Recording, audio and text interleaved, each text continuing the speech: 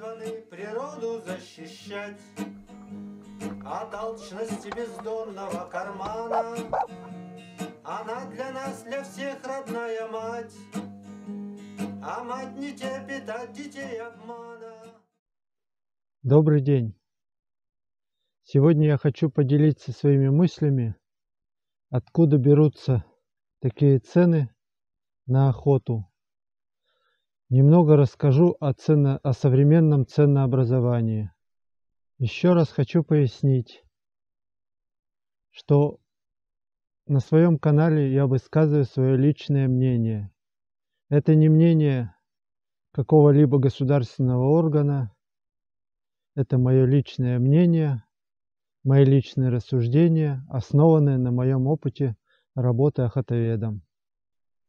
Для того, чтобы понять, как формируются цены на охоту в охотничьих хозяйствах, проведем краткий экскурс в историю. Как вы помните, в СССР фактически была одна правящая партия, которая фактически правила государством. По аналогии с этой партией были созданы три общества охотников. Это Росохотрыболов Союз, Военное общество охотников и общество Динамо. Военное общество охотников объединяло охотников, которые служили в армии. Динамо объединяло охотников правоохранительных органов. И все остальные охотники состояли в Росохотрыболов Союзе. Несмотря на то, что по уставу Э, председатели, руководители этих обществ выбирались на общих собраниях, на конференциях, направлениях. В любом случае, высшее руководство общества согласовывалось с партийными и государственными организациями. Общества охотников выполняли государственные функции, их билеты имели государственный статус, давали право на охоту.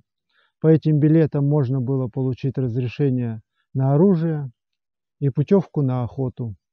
Цены на путевки были фиксированы и устанавливались государством. То есть, если, условно говоря, путевка на зайца стоила 3 рубля, то она стоила 3 рубля на всей территории РСФСР. В республиках, других республиках СССР цены были немножко другие. Там действовали немножко другие правила.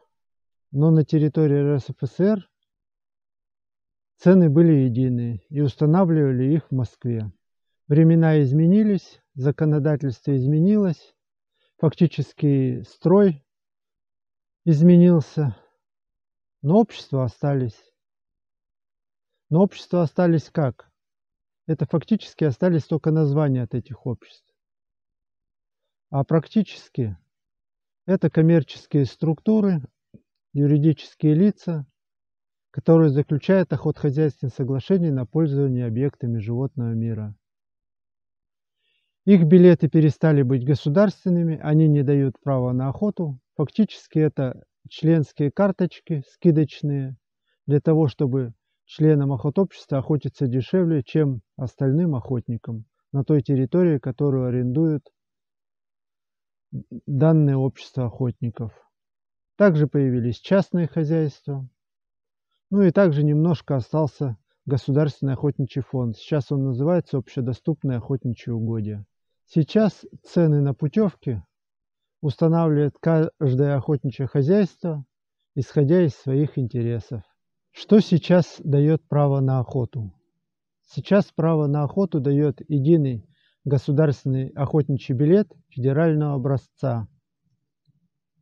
Но это в теории он дает право на охоту. Но чтобы конкретно конкретных угодьях на конкретной территории поохотиться, нужно получить еще разрешение на добычу охотничьих ресурсов. А если эта территория закреплена за каким-либо охотпользователем, то еще путевку, которая одновременно является договором на оказание услуг. В общедоступные угодья разрешение на охоту выдают государственные органы. Выдача разрешения – это государственная услуга, и за нее платится пошлина. В настоящее время пошлина в размере 650 рублей. Но кроме этого еще есть виды, за которые берется сбор за пользование объектами животного мира. Это разные виды. Так, например, за одного тетерева сбор 20 рублей, за одного глухаря сбор 100 рублей, за одного барсука или одну куницу или одного бобра сбор 60 рублей. За одного кабана или за одну косулю сбор 450 рублей, за одного лося сбор 1500 рублей и за одного медведя сбор 3000 рублей. То есть, если, условно говоря, охотник хочет поохотиться на рябчика или зайца в общедоступных угодьях, он платит госпошлину 650 рублей, получает разрешение и идет на охоту. Если он хочет поохотиться на тетерева, он также платит госпошлину 650 рублей плюс 20 рублей сбор за одного тетерева.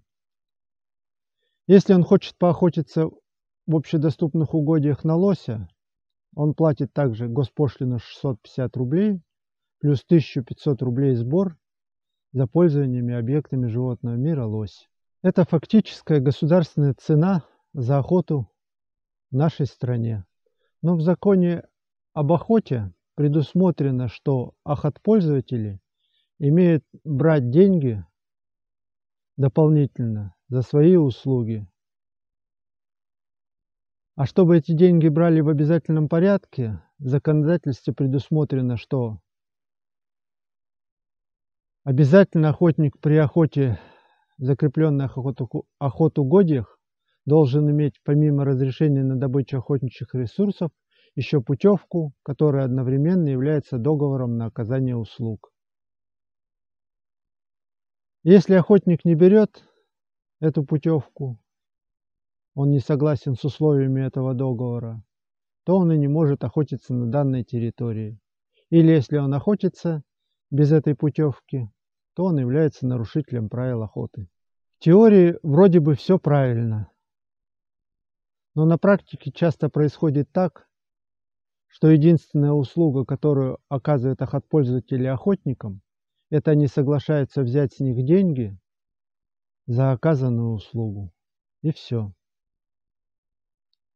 Конечно, есть охотничьи хозяйства, где содержат егерей, где построены базы,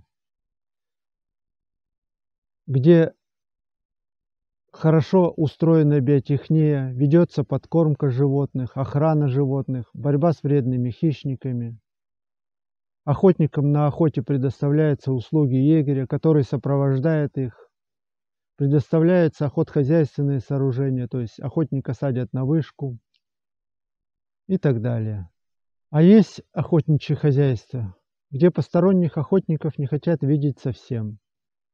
И для этого устанавливают потолок цен такой, что большинство охотников просто не могут себе позволить охотиться за такую цену.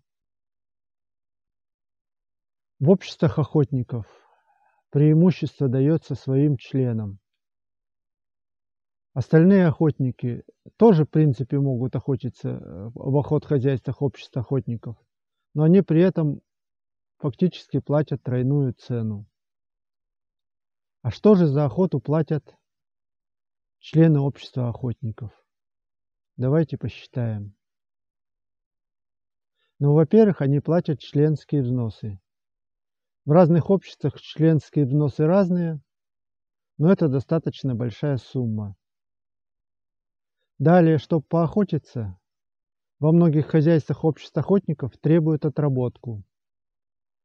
Или охотник в обязательном порядке едет в лес, допустим, сеет поле, покупает зерно, сеет поле, пашет, строит кормушку, засыпает ее зерном или другим кормом, ломает веники, косит сено, занимается подкормкой.